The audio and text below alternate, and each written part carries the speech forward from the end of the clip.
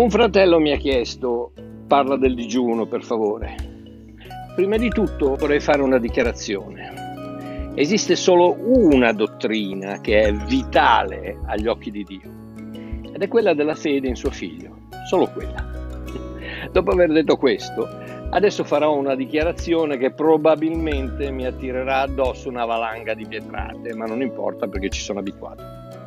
Tutto il resto è soggettivo sì, soggettivo perché non so se avete notato, ogni cristiano ha la sua opinione su ciò che dice la Bibbia. O la verità è una, ma le interpretazioni sono mille. Ecco perché mi disturba enormemente quando le persone dicono non discutere con me, discuti con la Bibbia. No, amico mio, discuto con te, perché quella che mi offri non è necessariamente la verità, è la tua interpretazione della verità il modo in cui ti hanno insegnato di vedere le cose per anni e anni e anni, come sei cresciuto, la tua nazionalità, la tua appartenenza religiosa, la tua razza, la tua età, la tua condizione sociale, il modo in cui tu interpreti una frase, un versetto, una ingiunzione che solo essere interpretata dal suo autore, lo Spirito Santo. E quello, amore mio, non sei tu. Quindi Ciò che offro come risposta a questo fratello è la mia opinione della verità, la mia opinione, ok? Ciò che io credo essere vero, quanto io reputo sia la risposta giusta alla sua domanda. E se non sei d'accordo, eh, che Dio ti benedica lo stesso, immensamente. Ok, un paio di constatazioni sul digiuno. Uno, nel Nuovo Testamento, cioè a dire dopo la croce, troviamo solo un paio di accenni al digiuno. Uno negli Atti 27, dove durante un nubifragio l'equipaggio della nave dove Paolo si trovava non mangia per due settimane. Uno negli Atti 10, dove il centurione Cornelio spiega che mentre stava digiunando gli era apparso un angelo con delle istruzioni a riguardo Simon Pietro uno in Atti 14, dove Paolo e Barnaba hanno da nominare pastori anziani in varie chiese. Uno in 1 Corinzi 7, dove Paolo istruisce marito e moglie di non privarsi di attività sessuali se non per un periodo di digiuno e preghiera. E se ce ne sono altri, eh, non ne sono al corrente. Ma in tutti questi passaggi vediamo che il digiuno non è mai istigato da Dio, ma sempre originato dall'uomo. 2. Il digiuno nel Nuovo Testamento non è uno strumento che Dio dà all'uomo per far sì che quasi sadisticamente l'uomo possa far cambiare idea a Dio. Dio vuole fare una cosa, ma siccome l'uomo digiuna, eh, Dio non la fa. E ne fa una che non voleva fare prima che l'uomo digiunasse. È pazzia.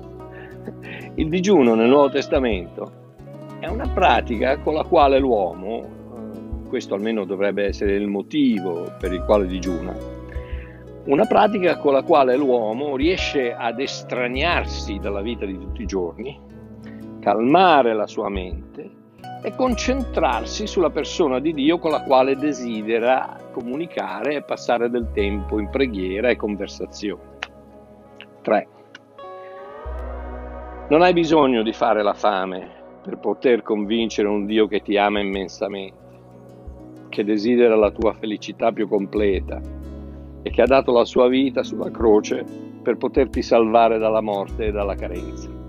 Non hai bisogno di fare la fame, dicevo, per ricevere qualcosa da Lui.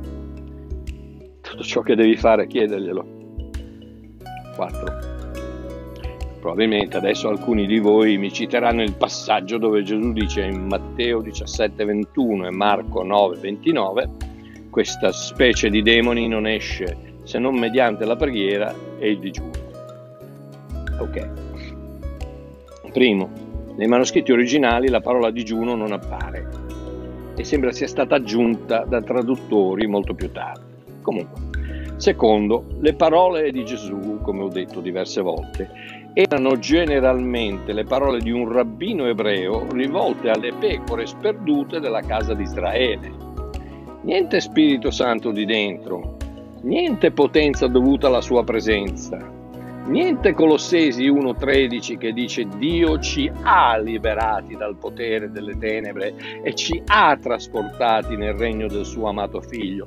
Fatto, compiuto, finito, non c'è bisogno di digiunare. Né Colossesi 2.15 Cristo ha spogliato, fatto, compiuto, finito, i principati e le potestà, ne ha fatto un pubblico spettacolo, trionfando su di loro per mezzo della croce. Il digiuno è chiaramente non necessario per schiacciare i demoni nel Nuovo Testamento. La nostra autorità nell'opera completa di Cristo è più che sufficiente. 5. Non hai bisogno di produrre nulla perché Dio ti accetta, né digiuno né opere buone.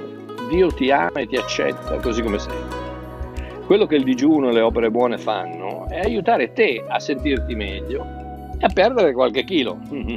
Ma l'opinione che Dio ha di te non è mai basata su ciò che fai, ma unicamente su chi sei. Sei un figlio, una figlia di Dio. Dio ti ama immensamente. Che tu mangi o no. Un abbraccio.